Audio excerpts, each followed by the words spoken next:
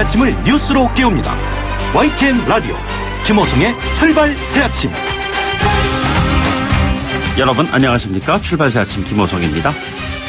가족들의 마지막 여행이었습니다. 할아버지와 할머니, 부부, 형제, 자매가 함께한 단란한 유럽 여행 야경이 아름답다는 헝가리 부다페스트 다뉴브강에서 우리 시간으로 어제 새벽 참사가 벌어졌습니다. 26명의 사상자가 발생했습니다. 지금까지 사망 7명, 실종 19명입니다. 현지 기상 여건은 비바람이 치는 매우 좋지 않은 상황이었습니다. 다뉴브강은 수위가 높아지고 유속이 빨라지고 시야도 탁해서 실종자 수색에 어려움이 가중되고 있습니다. 실종자들의 기적 같은 생還 온 마음으로 기원합니다. 대형 참사를 적지 않게 경험한 우리는 그동안 비극의 중심에 자리한 유족들의 아픔에 어떻게 접근해야 하는 것인지 잘 알고 있습니다. 하지만 알고 있다는 것과 실천한다는 것의 간격은 일부 개선되긴 했어도 여전한 것 같습니다. 사실관계의 정확한 확인, 유가족에 대한 과도한 취재 금지, 본질을 벗어난 지역적인 사안에 대한 언급 배제, 과도한 표현 자제, 이 같은 부분에 대해서 재난 보도 준칙을 꼭 지키도록 노력하겠습니다. 사람이 정보에 앞서는 그런 YTN 뉴스 FM이 되겠습니다. 관련 소식은 3부에서 집중 전해드리죠. 5월 31일 금요일입니다. 잠시 후 출발하겠습니다.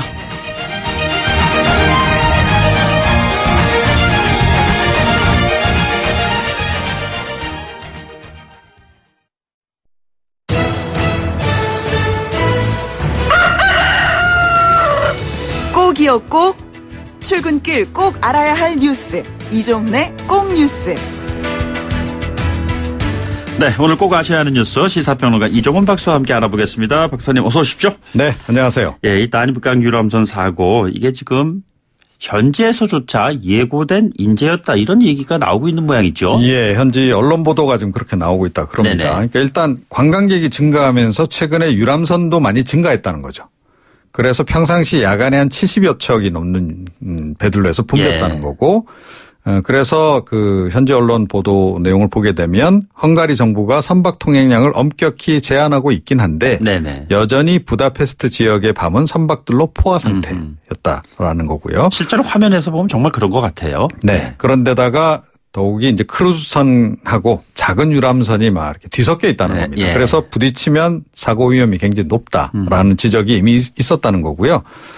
어, 그래서 사실은 대형 선박들의 야간 운행을 헝가리 정부가 제한을 했답니다. 음. 자, 그런데 이번에 사고가 난 그 지역 같은 경우에는 워낙 이 관광 명소잖아요. 네네.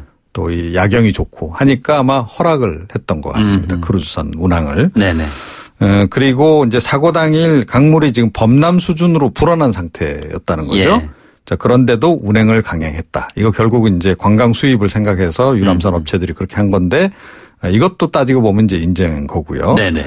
어, 여기에 더해서 이제 이미 알려졌듯이 구명 조끼도 어, 비치되어 있지 않았고 예. 안전교육 같은 것도 실시하지 않았고 어, 여기에 더해서 지금 국내 전문가들은 다뉴브강의 지형도 지금 지적을 하고 있습니다. 그 어떤 지형이란 얘기죠? 폭이 좁다는 거죠. 이 일단 강 자체가 음, 그리고 수심도 얕고 이 삼각주가 중간 중간에 많아서 배가 다닐 수 있는 항로가 굉장히 제한적이라는 겁니다. 네네. 그런데다가 이번처럼 이제 비가 많이 오고 그러면 이 강물이 불겠고요. 물밑 지형이 또 계속 바뀌잖아요. 음, 음. 예, 어떤 데가 또 수심이 높아지기도 네네. 하고 낮아지기도 하고 뭐그 퇴적 그 방향에 따라서 네네. 어, 그리고 이제 에, 유속이 빨라지게 되면 기본적으로 선박 조정이 좀 힘들지 않습니까? 뭐 이번 차량 같은- 빗길 주행이 또 벌써 그러는데요. 그렇죠. 뭐. 그러니까 이번 같은 경우는 특히나 이제 그, 그 하류에서 상류 쪽으로 음, 음. 예, 거슬러 올라오는 과정이었기 때문에 앞에서 오는 그 물살이 세면 그다음에 물살의 방향이 또 많이 뒤흔들리고 특히 다리 밑은 유속이 더 빠르잖아요. 좁아지니까요, 이제. 예. 자, 그런 상황을 생각하면 지금 이제 작은 배들은 충분히 옆으로 흔들릴 수 있는 그런 그 어, 상황이었다라는 거죠. 그러니까 지금 우리 그 피해 당한 유람선이 이 옆, 옆으로 약간 좀 휘청거렸다는 거 아니겠습니까? 네네. 좀 그런 거고. 일단 정부는 신속 대응팀 일지를 이제 보내서 지금 현지에 도착했다고 합니다. 어, 외교부 직원 6명, 해군 7명, 해경 6명, 소방 쪽 12명. 예, 이렇게 해서 이제 수색에 이제 들어가야 되는 상황이고요. 어, 강경화 장관 본부장으로라는 시민보호 대책본부도 일단 마련했다고 합니다. 예. 그런데 사실은 국내에서도 어제 유사 사고가 있었습니다. 한강에서요. 예, 어제 예. 오후 6시 4분께 동작대교 밑을 지나던 여객선 로얄 크루즈가 예, 모래턱에 걸려서 좌초했습니다. 네네. 그런데 뭐 이것도 사실은 늘 다니던 길이지만 지형이 좀 바뀐 걸좀 예, 충분히 미리 사전에 인지를 못해서 아마 발생했던 것 같은데요. 예. 어, 일단 뭐 우리 같은 경우에는 순환 구조대가 출동해서 20여 분 만에 탑승 인원 26명을 모두 20분 만에 이제 구조를 하긴 했습니다. 네네. 아, 이게 참 큰 재난으로 이어지는 사고는 미연에 하나 둘씩 체크가 돼서 방지할 수 있는 그런 시스템이 진짜 마련이 돼야 하겠다 이런 생각이 좀 들었습니다. 네.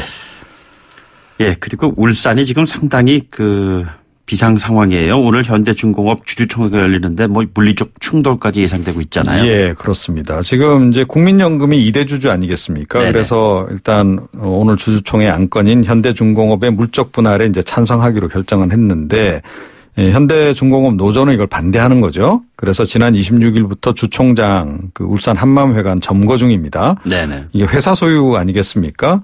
자, 그래서 울산 지방 법원은 어제 점거를 풀라라고 지금 이제 결정을 내리기도 했습니다. 예. 어, 그래서 이걸 근거로 해서 사측이 오늘 그, 어, 이렇게 농성 해제 집행 신청을 하게 되면 예. 법원 집행관들이 현장에 나가서 이건 이제 실제로 해체, 에, 농성 해제 작업을 이제 하는 겁니다. 네네. 이럴 때 이제 경찰력 동원도 가능하거든요. 음. 그래서 이제 물리적 충돌이 발생할 가능성이 좀 높다 이런 얘기가 나오고 있고요. 이 장소를 변경하는 것도 고려 중인데 지금 장소 변경에 대비해서도 민주노총 쪽에서 지금 네네. 사전에 좀 봉쇄를 하는 그런 지금 활동까지 지금 전개 중입니다. 민주노총이 이번에 이제 총력 지원에 지금 나선 상황이고 예. 현재 민주노총 조합원 수천 명이 지금 집결을 한 그런 그 상황입니다. 네네. 어, 이런 속에 어제 그 영장 실질 심사를 받은 민주노총 간부 6명 가운데 이 세 사람에 대해서 또 영장이 발부가, 발부가 됐죠. 됐어요. 예. 예, 문재인 정부 들어서 이제 이 처음 있는 일이고 에, 오늘 주총 결과가 어떻게 나올지는 모르겠으나 하여튼 상당히 뜨거운 하루가 될 것 같습니다. 예, 지켜보도록 하겠습니다. 오늘 말씀 여기까지 듣도록 하겠습니다. 고맙습니다. 네. 지금까지 이종훈 시사평론가였습니다.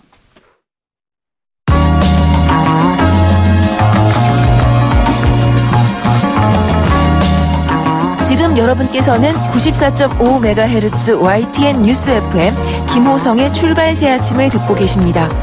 김호성의 출발 새 아침은 청취자 여러분과 함께 만들어 갑니다. 짧은 문자 50원, 긴 문자 100원의 유료 문자 샵 0945, 우물정 0945나 YTN 라디오 어플리케이션 예스, 유튜브 보이는 라디오 채팅창을 통해 여러분의 목소리를 들려주세요. 오전 7시 15분부터 9시까지 김호성의 출발 새 아침입니다.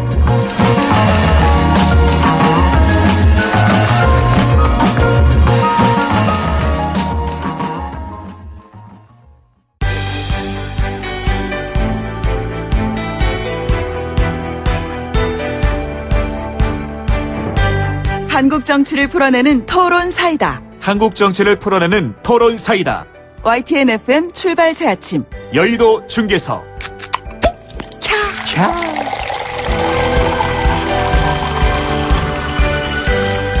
네, 한국 정치를 풀어내는 토론사이다 여의도 중계석 시간입니다. 오늘 이 시간 여의도 정치 상황 누구보다도 명쾌하게 풀어주실 두 분 나오셨습니다.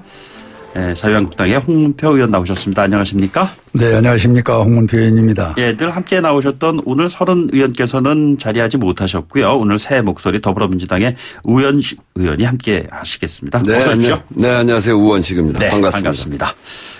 뭐좀그 무거운 이야기부터 시작하지 않을 수 없을 것 같습니다. 어제 그 단유부강 사고 때문에요. 뭐 지난번에도 그 서른 홍문표 의원 두 분께 나오셔가지고 속초 고성 산불 났을 네, 때도 뭐 음. 굉장히 그 안타까운 마음을 표현해 주셨습니다만 우 의원님 이 사건 제대로 쭉 지켜보셨을 거고요. 네, 정부 네. 대응도 지금 가깝게 알고 계실 텐데 어떻게 네. 생각하시는지요? 아유, 그러게 이제 우리 국민들이 그 가족 단위로 이렇게 여행을 많이 가셔가지고 예. 거기에 배를 타고 정말 편한 마음으로 그렇게 여행을 하셨을 텐데 그리고 오늘 아침 기사를 보니까 이제 병이 병을 극복을 하고 그걸 네네. 축하하기 위해서 또 함께 간 가족도 어, 계시더라고요. 네네. 그런데 그런 참사를 당해서 정말 안타까운 마음이고 예. 어, 그 사망으로 확인된 분도 계시고 실종된 분도 지금 19분이나 많은 분들이 예. 계시는데 빨리 이렇게 찾아서 어, 어떤 그 어, 이렇게 수습이 되기를 정말 그런 네. 바라는 마음이고요. 큰, 더 이상 큰 불행이 없었으면 좋겠다 하는 네. 마음입니다.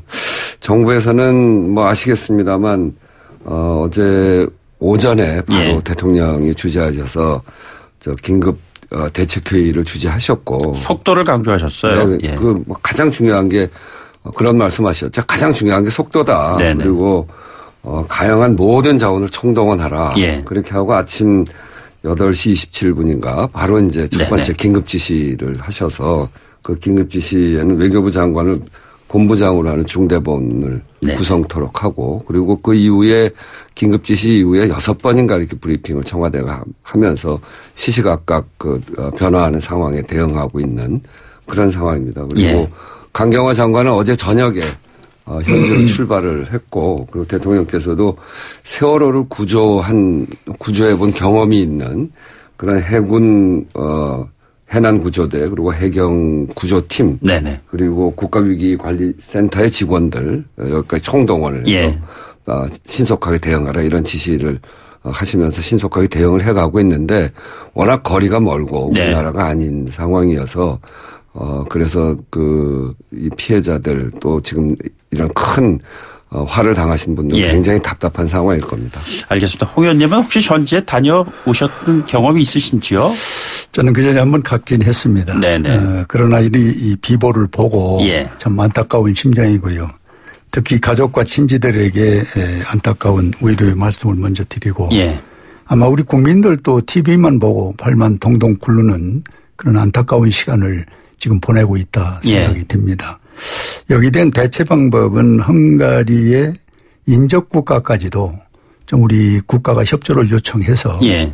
어, 이 수습하는데 에, 헝가리뿐이 아니라 음. 지금 여러 가지 정세 상황을 보니까 뭐 헝가리 자체 국내를 이미 벗어난 상황도 있을 수 있다는 우려가 지금 나오고 있기 때문에 정부가 그 부분도 인접 국가까지요. 그렇습니다. 예. 발빠르게 대책을 좀 요구하는 또 협조를 받는 그런 노력이 필요하겠다는. 생각을 듭니다. 저희들이 그 관련 소식은요, 3부에서 집중적으로 좀 조명해 보도록 하겠습니다. 어, 오늘 두 분 나오셨으니까요, 아, 국내 정치 상황에 대한 질문을 아, 드리도록 하겠습니다. 아, 국회 공전 상황에 대한 걱정을 하시는 분들이 참 많은 것 같은데요. 어, 더불어민주당이 자 그렇다면 한국당을 뺀 네 개 정당 단독으로라도 6월 임시 국회를 소집하겠다. 뭐 이런 방안을 검토하고 있는 것 같습니다. 물론 한국당의 어, 반발도 적지 않은 것 같고요. 의원님 이 임시국회 6월 어떠한 일정으로 지금 생각하고 계시는지요? 그 6월, 2월, 4월, 6월 그리고 어 8월 그, 그 국회는 이제 법적으로 하도록 정해져 있는 네네. 국회입니다. 그래서 6월 국회를 열어야 되는데 지난 4월 국회 이후에 여러 가지 현안이 있고 민생도 굉장히 시급한 문제들도 많고 예. 특히나 어 재난과 관련해서 뭐 화재도 있었고 지진도 있었고 어 그런 그 여러 가지의 문제를 중심으로 해서 미세먼지 대책도 굉장히 예. 시급하고요. 추경이 이미 나와 있는데 추경도 지금 한 달이 훨씬 넘는 기간이 지났거든요. 네네. 그런 상황에서 5월 국회가 이제 완전히 식물 국회가 된 상황이었고 그래서 6월 국회는 꼭 열어야 된다 네. 이런 것이죠. 법적으로도 해야 될 상황뿐 아니라 그런데 어. 뭐 사당이 하겠다는 게 아니고 자유한국당하고 함께 하자 예. 그런 게 이제 기본이고요. 자유한국당하고 해야 되는데 자유한국당이 동의하지 않으면 결국 들어오지 않으면 사당하고도 할 수밖에 없는 거 아니냐 이런 네네. 이제 국회를 열어야 한다는 절박한 심정에서 이야기하는 겁니다. 예. 그 절박한 이유는 뭐 더 이야기하지 않아도 추경뿐 아니라 민생 상황이 굉장히 심각하기 때문에 민생 법안 처리해야 될 것들이 굉장히 많거든요. 예.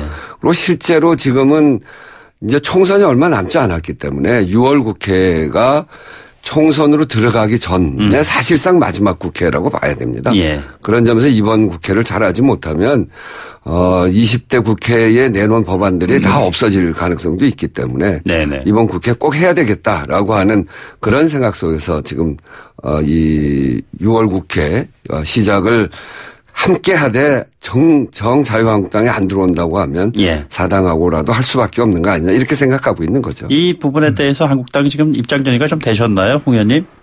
뭐 정리를 하기도 전에 지금 방금 말씀하신 대로 하다가 안 되면은 한국당을 빼고 한다는 이런 이야기는 우리가 참 지나가는 이야기라도 네네. 해서는 안 된다 이렇게 생각합니다.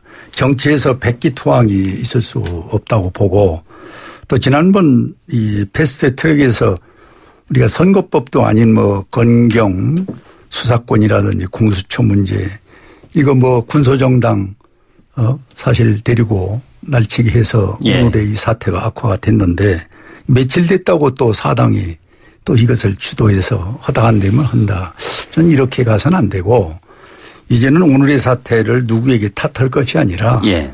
좀더 어, 통큰 이 대통령과 집권당에 좀 아량이 좀 있어야 된다. 또 과거에도 이런 것을 푸는 역사적 상황들이 많이 있었습니다. 노무현 네네. 대통령도 그랬고 김대중 대통령도 그랬고 그래서 저는 요번에 6월 국회는 무조건 열어야 되는데 예. 우리 한국당에서도 양보할 수 있는 것이면 양보를 해서 진짜 이것은 국민을 위해서 이번 임시국회 6월 네네. 국회만은 열자 이렇게 도리어 재연의 말씀을 드립니다. 대통령께서 기본과 상식까지 말씀하셨단 말이에요. 네, 네, 예. 네. 아니, 그 저도 원내대표를 해봤습니다만 예. 정당 간의 협상은 서로 받아들일 수 있는 조건을 내거는 거거든요. 네네. 받아들일 수 없는 조건을 내걸 때는 안 하겠다는 겁니다. 명분만 찾고 안 하겠다는 건데 지금은 패스트 트랙의 철회와 사과를 요구하고 있거든요. 예. 그거 아니면 못 들어간다 이런 거 아닙니까? 네네. 패스트 트랙은 자유한국당을 제외한 나머지 정당이 다 같이 한 겁니다. 예. 국회 선진화법을 만들 때 폭력적인 상황을 막기 위해서 5분의 3, 180명의 동의 예. 또 상임위에서는 5분의 3 동의가 있으면 패스트 트랙에 올리게 되어 있는 것이고요. 네네. 그걸 막기 위해서는 필리버스터라고 하는 그런 방법이 있습니다. 예. 그러고 충돌하지 않는 거거든요. 충돌하면 처벌하게 돼 있는 거고요. 그런데 그런 절차를 거쳐서 자유한국당을 제외한 나머지 네 개의 정당이 함- 힘을 합쳐서 패스트 트랙을 국회 선진화법제 그 절차에 따라서 올린 겁니다. 예, 예. 그런데 그 저희 혼자 한 것도 아니고 사당이 같이 했는데 그거를 철회하라. 그럼 나머지 정당이 동의해야 철회하는 거 아닙니까? 예. 그러니까 철회하라는 거는 받아들일 수 없는 조건입니다. 음흠. 사과는 국회 선진화법에 의한 절차대로 한 겁니다. 그런데 거기에서 필리버스터라고 하는 막을 수 있는 네네. 그것을 저항할 수 있는 법적인 절차가 있음에도 불구하고 전에 우리가 하지 않았습니까? 예. 19대 말에 필리버스터를 해서 국민들한테 굉장히 호응을 많이 받고 국민들이 우리가 필리버스터를 하는 걸 통해서 아, 저 민주당이 무슨 얘기를 하는구나 이걸 들으셨단 말이에요. 예. 계속 이야기하는 걸 통해 서 그런 것도 하지 않고 하지 말라고 하는 몸으로 막은 건데 이거를 우리가 사과할 경우에 그럼 어떻게 되냐면 앞으로 국회는 맨날 동물 국회가 됩니다. 예. 국회 선진화법에 의해서 정해진 절차를 하는데 몸으로 가서 막아버리면 못하는 거 아니에요? 그러면 그걸 그걸 또 몸을 막은 쪽에 대고 사과를 해야 되는 건데 그러면 국회 선진화법이 없어지는 꼴이 되는 거죠. 예. 무력화되는 거거든요. 그래서 그건 국회를 위해서 좋은 방법이 아닙니다. 그래서 자유한국당이 나머지 정당들이 받기 어려운 조건 철회하고 사과하라. 그 그런 조건 내걸지 마시고 사실은 패스트 트랙은 무슨 법을 통과시킨 게 아닙니다. 시작입니다. 그, 그 예. 법을 논의하자고 하는 네네. 거거든요. 논의에 들어와서 자유한국당이 주장하고 싶은 바를 주장하면 됩니다. 그래서 거기에서 다시 이렇게 절차를 거쳐가면 되고 패스트 트랙은 빨리 빨리 해봐야 어 최소한이 걸쳐야 될 6개월 이상은 걸쳐야 되고요. 예. 그리고 330일이라고 하는 기간이 보장돼 있습니다. 그 네네. 기간 동안 논의하면 되는 일이기 때문에 어 지금 백기투항하라는 게 아니고요. 들어와서 논의하자 이런 이야기입니다. 예. 받을 수 없는 조건을 철회할 수는 없는 건가요, 홍 의원님? 이 문제는 뭐 여러 번 지상 보도가 됐고 예. 지금도 고민하고 있습니다만은 이 패스트 트랙 부분은 이미 여권에서도 예. 검찰총장이 이게 잘못됐다는 거 얘기를 했고 또 김영춘 전 장관께서도 이대로 가면은 네네. 부산 전멸한다 음. 이런 얘기를 속 시원하게 했고 또 여당 내 국회의원들도 여러분이 지금 이 문제에 이의 제기를 하고 있습니다. 예. 그리고 또 바른당이나 또 평화당에서도 문제 제기를 하고 있고 그러면은 요번에 이거를 뭐 이중대 삼중대를 동원해서 했다 하더라도 잘못된 것은 예. 빨리 시정을 하는 게 좋습니다. 지금 말씀드린 그거 외에도 많은 단체 같은 데서 이것은 잘못됐다는 거거든요. 네네. 그럼 바로 잡아야죠. 그래서 저는 세 가지의 예, 조건이랄까 어, 요구를 하는 것은 세 가지 조건이요? 예. 그 여당이 대국민 사과 정도는요. 네네. 이 부분에 대해서 내부도 그렇고 검찰총장이나 많은 예, 법률가들도 그렇게 얘기를 하니까 예. 그런 정도의 단언을 좀 내려주셔야 되고 선거법 문제는 앞으로 네네. 이 패스트 트랙처럼 일방적 처리를 않는다. 네네. 합의 처리하겠다. 이 약속을 좀 해줘야 되고 게임의 룰이라 이 말씀이시죠? 그렇습니다. 그 다음에는 영수회담에서 난 이 문제가 다 풀었으면 제일 좋겠다는 것입니다. 네네. 많은 산재원 문제를 그 사사건건마다 해결하기는 어렵습니다. 예. 이건 통큰 영수회담에서 풀어야 되는데 지금 1대1 회담을 않겠다는 거 아닙니까? 그러니까 대통령과 황교안 대표와의 네. 회담 말씀하시는 것이죠? 그래서 예. 이제 오 5당 음, 소위 회담을 하겠다고 그래서 네네. 이제 우리 쪽에서 한국당에서 제시한 것이 1대1을 먼저 하고 네네. 그리고 이제 5당 회담을 하자. 예. 이런데 이 부분에 대해서 진전이 없거든요. 그래서 저는 한 가지 제안을 한다면은 5당 회의를 하기 전에. 한 2시간 전에 에, 황 대표하고 만나서 예, 예. 이런저런 차 한잔 하면서 전국 현안에 큰 가닥을 잡고 네네. 그리고 5당 대표들이 모여서 얘기를 하면은 저는 가능성이 좀 보이지 않겠는가. 예. 또 이런 지혜와 또 어, 대통령께서 이런 용단의 결단이 좀 있어야 이 문제의 어떤 그 룰이 좀 풀려나가지. 예. 이렇게 사사건건 안마다 대립돼 놓으면은 이건 모든 것이 대통령의 짐으로 돌아가고 음흠. 집권당의 아량이라는 게 없을 땐 국민은 예. 불안한 거죠. 예. 어, 이래서 저는 에, 더 이상 여기서 어, 강권으로 가면은 독선이라는 또 오만이라는 부분을 국민이 민주당에게 또 대통령에게 네네. 음, 짐을 지울 수밖에 없는 겁니다. 예. 그래서 저는 이 부분은 음, 지금도 해- 얘기했습니다마는 좀 세 가지 안을 좀 지혜롭게 검토를 해서 네네. 받아준다면은 우리 당도 거기에 협조를 해서 네네. 이 전국을 빨리 풀고 현안 문제 해- 해결하는 그런 우리 한국당이 되겠다. 예. 이런 말씀을 좀 개인적으로 세계 드리고 안에 싶습니다. 대한 생각 그러면 어떠신지요, 의원님? 음, 네, 뭐 이제 그 여러 사람이 패스트트랙이 잘못되었다라고 이제 우리 홍 의원님 말씀하시는데 잘못됐다고 얘기하는 사람 목소리만 듣는 모양입니다. 그런 수밖에 없었겠구나라고 예. 하는 국민들이 더 많다는 점을 네네. 이해하시길 바라고요. 말씀드렸던 대로 이 패스트 트랙은 선거법에 관해서 국민 민심 그대로의 국회를 만들자. 예. 그리고 검찰에 대한 어, 최소한의 견제를 위해서 검경 수사권을 독립시키고 예. 또 고위공직자들에 대해서 검찰을 포함한 고위공직자들에 대해서 어 그것을 수사하고 할 수 있는 그런 기관을 만들자라고 네네. 하는 국민 여론이 굉장히 높습니다.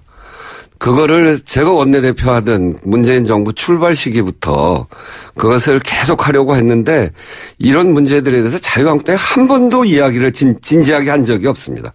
선거법에 관해서도 그렇고요. 그래서 그게 벌써 2년 그 논의를 한 거거든요. 네네.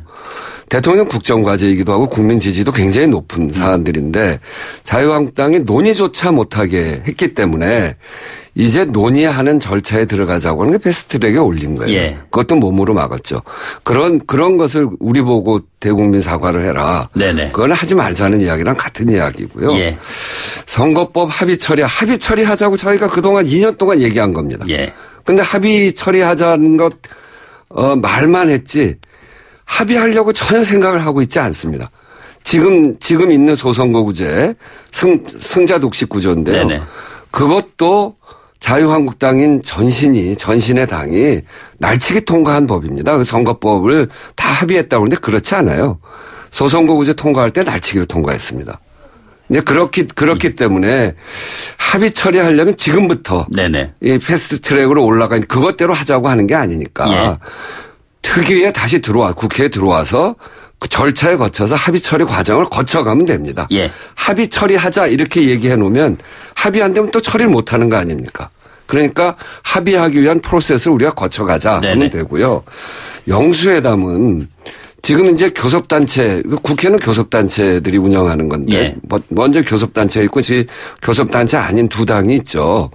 자유한국당에게만 특별 대우를 해라. 이렇게 얘기를 하면, 다른 당은 또 어떻게 하겠습니까? 일야당이라는 의미 말씀하시는 거그 아니겠습니까? 이야당은, 예. 그러니까 일야당 하고 난 다음에 이야당도 교섭단체인데, 거기도 따로 하자. 이렇게 될 거 아닙니까? 네네.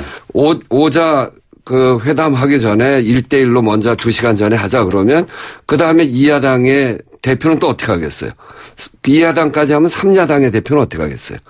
국정 운영을 해보셨던 분들이기 때문에 네네. 이렇게 여러 개의 교섭단체가 있고 또 여러 개의 정당이 있는 경우가 우리한테 별로 없었습니다. 네네. 그런 상황에 맞춰서 그렇게 해야지 우리가 제일 야당이니까 우리만 특별 대우해라 이렇게 하는 거는 저는 일종의 특권 의식이다 예. 이렇게 생각합니다. 홍 의원님 짧은 반론 듣고 네, 입으로 이좀 넘어가도록 하겠습니다. 뭐 예. 여러 번 여러 번 되풀이해도 똑같은 얘기인데 정당은 국회에서 의석수에 의해서 존재하고 지금까지 그 예우와 원칙을 받아왔습니다. 예.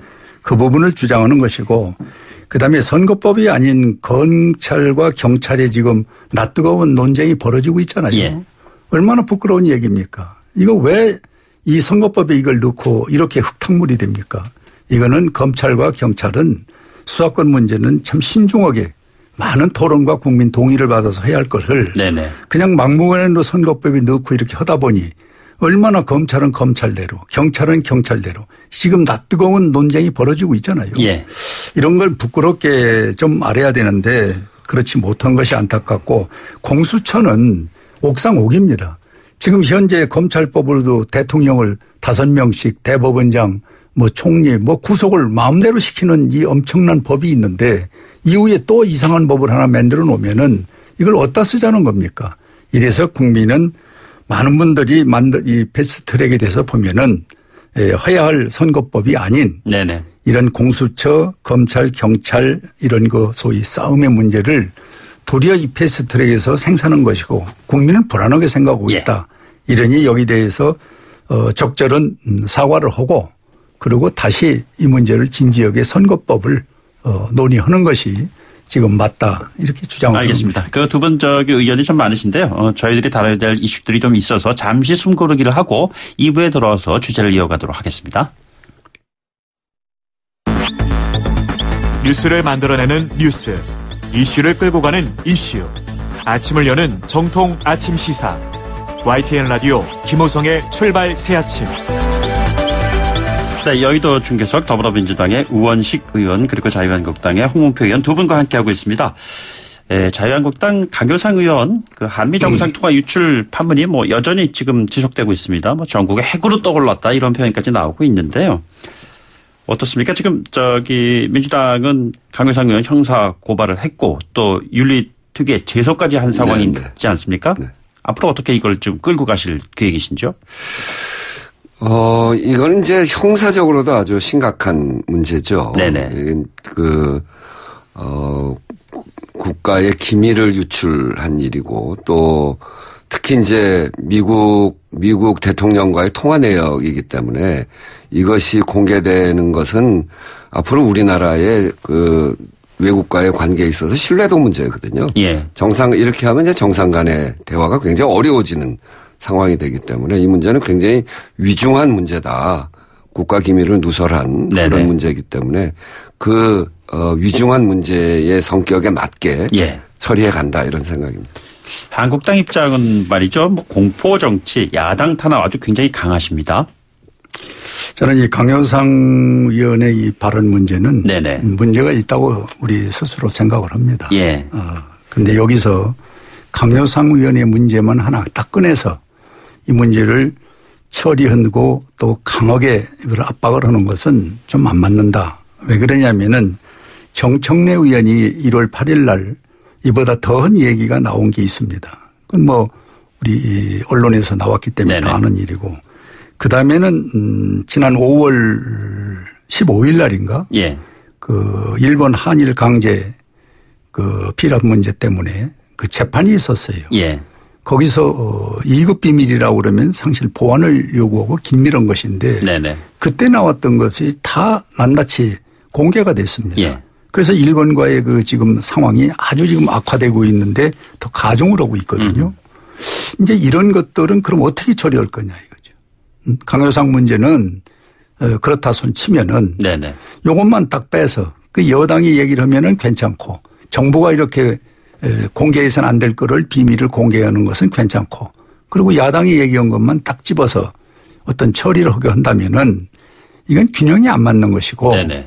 대한민국의 법의 잣대가 이미 고무줄이 돼버리는 것이죠. 예. 그래서 이런 문제도 함께 보는 일벌백계로 국민이 동의하는 그런 처리가 전 필요하다 네네. 이렇게 생각합니다. 정청래 의원 같은 경우는 로데이터 말씀하시고 뭐 이런 것이잖아요 그렇습니다. 지금. 네네. 근데 그러니까 이것만 그런 것이 아니다라는 주장이 그 있어요. 제가 예. 말씀드리면 외교상 기밀이라고 하는 거는 외국과의 관계에 있어서 국가가 비밀로 지켜야 될 사항을 네네. 이야기하는 거거든요. 근데 기밀이 비밀이 아니기 위해서는 이런 조건이 또 있습니다. 그러니까 어떤 경우에는 이제 이렇게 이야기하는 경우도 있거든요. 그런 거는 이미 널리 알려져 있는 사실이거나 예. 비밀 유지가 외교 정책상 이익이 되지 않는 경우 예. 그런 경우에는 비밀로 보지 않는 겁니다. 근데 이 외교 정책상 이익이 되지 않을 때를 판단하는 거는 정부가 하는 겁니다. 예. 그렇기 때문에 정부가 발표한다거나 이런 거는 이런 경우에 해당되는 거기 때문에 판단 주체가 누가 되는 판단 주체가 정부이고 정부가 판단할 경우에 그것이 기밀이고 아니고를 판단하는 겁니다. 예, 예. 그것이 바로 국가가 정하는 기밀의 수준이죠. 네네. 그런 점에서 볼 때 지금 말씀하신 두 부분은 여기에 어디에 해당하는지에 대한 네네. 판단을 다시 해봐야 되는 일이고요. 강효상 의원은 이 지금 기- 비밀이 아니기 위해서는이라고 하는 두 가지 조건에 어느 것도 해당하지 않는 겁니다. 네네. 이건 그야말로 외교 정책상 외국에 대해서 비밀로 확인돼 확인 아, 비밀로 확인하거나 확인되지 않는 것이 대한민국의 이익이 되는 예. 그런 경우거든요. 이런 걸 말하지 말자. 그리고 이런 이런 것들을 발표하지 않기로 한 겁니다. 그러면 발표하지 않아야 되는 거죠. 네네. 발표하지 않은, 않기로 한 거는 우리 정부와 미국 정부 간의 약속이거든요. 예. 그래서 비밀인 겁니다. 그래서 거기에 위반됐기 때문에 위중하다. 네. 이런 거죠. 반론 이, 이 같아요. 부분에 예. 대해서 지금 오 의원님께서 정부의 판단에 맡긴다 하는 부분은 저는 상당히 위험한 얘기입니다. 정부는 법을 또는 관리를 집행하는 겁니다. 예. 어, 그런데 정부가 이것은 맞고 이것은 안 맞는다 하는 것은 판단 문제는 판단 문제는 얘기죠. 음. 아니다. 어, 법에 의해서 처리가 돼야 된다. 아까 그 법에 법원에서 어, 이 증언 문제 나온 것 같은 것은요. 상당히 국가 간에 민감한 것들이 저도 그 원문을 봤습니다만은 네네. 그런 것을 정부가 발표해서 한일 관계가 이렇게 악화되는 거. 그 누군가가 그 문제도 책임을 지어야 되는 겁니다. 예. 어, 그리고 정청래 의원 얘기 뭐 동료 의원이었기 때문에 하고 싶지 않습니다만은 그것도 사안 내용을 보면은 어, 그날 주변에서 그랬고 그거 안 해도 되지 않겠냐 했는데 그걸 굳이 본인이 이걸 했어요. 괜찮다고. 네네. 근데 하고 보니까 거기에도 민감한 문제가 꽤 있습니다. 그래서 이런 문제는 정부가 판단해서 결정한다는 것은 좀 위험하고 네네. 법에 의해서 어, 판단할 수 있는 정부의 집행하는 자세가 보여야 된다. 예. 이렇게 말씀을 드립니다. 예. 지금 마지막 질문 할 수밖에 없는데 시간이 없어서요. 네. 최근에 그 서훈 국정원장과 양정철 민주연구원장 회동 문제를 놓고 확대 해석이다 또는 본질적으로 이건 큰 문제다 뭐 이런 지적들이 엇갈리고 있는 것 같습니다.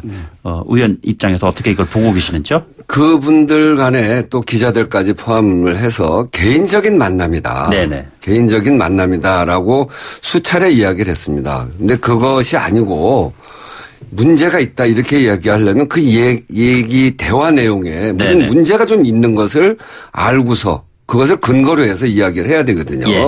근데 그런 근거 없이 만난 것만을 가지고 이야기하는 거는 저는 좀 어, 문제가 있다. 그러니까 만난 거에 대해서 그렇게 생각하실 수 있습니다. 그래서 그, 그 만남이 어, 뭐 시기 적절했느냐라고 하는 문제는 그 다른 문제로 치더라도 이렇게 문제를 확대하려면 예. 무슨 근거가 있어야 되는데 근거 없이 어, 이렇게 마구 확대하는 건 그 큰 문제가 있고요.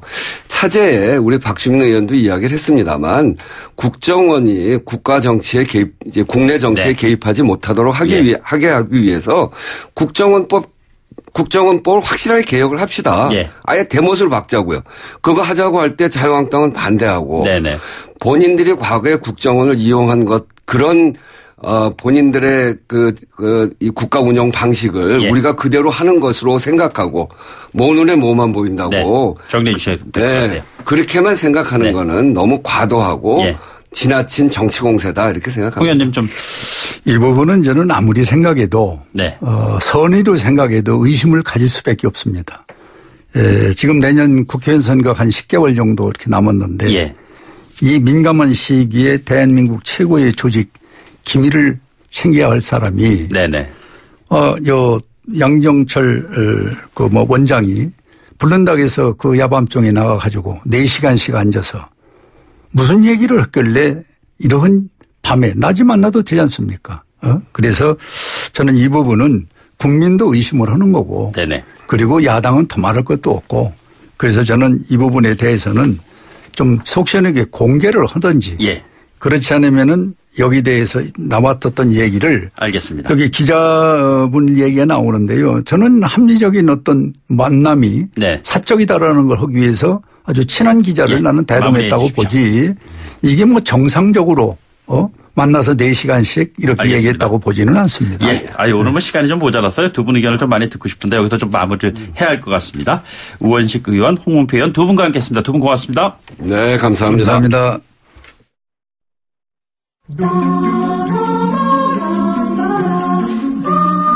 김호성의 출발새 아침과 함께하는 위클리 시사 퀴즈. 정답자 중 추첨을 통해 소정의 선물을 보내드립니다. 영화 감독을 꿈꾸던 어리숙한 12살의 영화광 소년이 이 트로피를 손에 만지게 될 날이 올 줄은 상상도 못했습니다. 봉준호 감독의 영화 기생충이 한국 영화 역사상 처음으로 이 영화제의 최고 작품상인 황금 종려상을 수상했습니다. 이 영화제는 해마다 5월 프랑스에서 개최되는 세계 3대 영화제 중 하나인데요. 올해 72회째를 맞이하는 이 영화제는 무엇일까요? 1번 칸 영화제 2번 베니스 영화제 짧은 문자 50원 긴 문자 100원의 유료 메시지 샵 0945 우물정 0945로 보내주시면 됩니다. 김호성의 출발 새 아침 2부 여기서 마치고요. 잠시 후 8시 10분 3부에서 만나요.